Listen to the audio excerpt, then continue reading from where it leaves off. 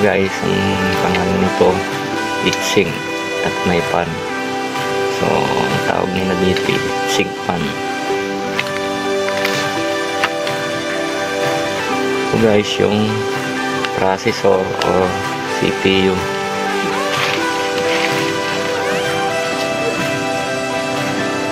na kung saan ay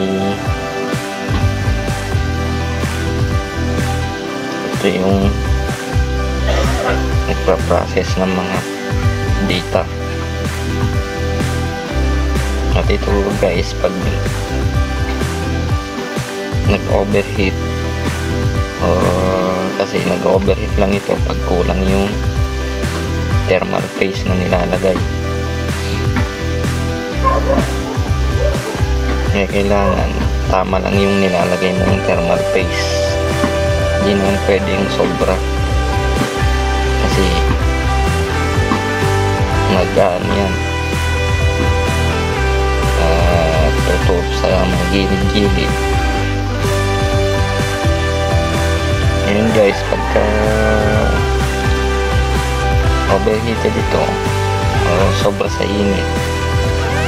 Baga walang thermal phase pag uminit yan kusang mamamatay itong motherboard nag-shutdown siya. Ito yun. Kasi hindi pwedeng sumobra sa init to. Ay hindi baga. Sorry. Baga in- mainit na sobra ito pagka gumagana itong motherboard. Kasi pag uminit na ito sigurado may display na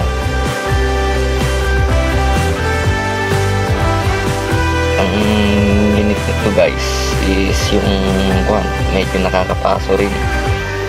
Konti. Ayan guys yun ang trabaho ng processor or CPU kung tawagin. Ito rin guys yung nagpapabilis sa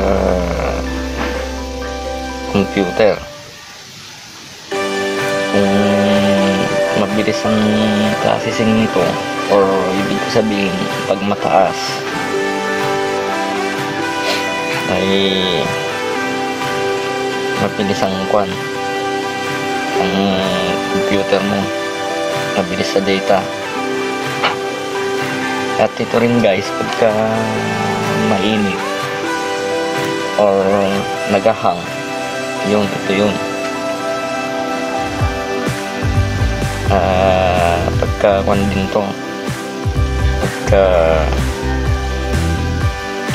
uminit na at ano baga yung kwan na yung tuyong tuyo na yung thermal phase nya yan kaya importanteng may thermal phase ito. Yan guys. Yun ang ng isang processor. Ng isang motherboard